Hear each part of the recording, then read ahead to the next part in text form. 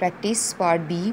Copy the following sentences in your notebook. Complete them with a suitable relative pronoun. Now we will fill these blanks by inserting suitable relative pronoun. Number 1. The boy dash book was stolen is looking sad. Stolen churaige. Whose? In this blanks, uh, this blank we will write whose. The boy whose book was stolen is looking sad. लड़का जिसकी book चुराई गई है, वो उदास दिखाई दे रहा है।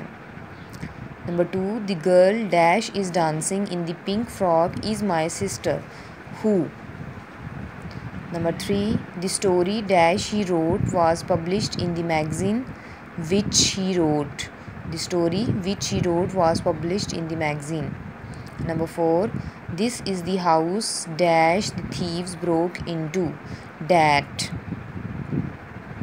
Number 5. We like the house dash was facing the sea. Which? Part C. Copy the sentences below in your notebook. Fill in the blanks with the suitable indefinite pronouns. In these blanks, we will insert indefinite pronouns. Number 1. I am very thirsty. I would like dash to fetch me a glass of water. Fetch mean bring. I would like someone to fetch me a glass of water number two the children were making a nice because they did not have dash to do anything बच्चे शोर कर रहे थे क्योंकि उनके पास करने के लिए कुछ नहीं था. They did not have anything to do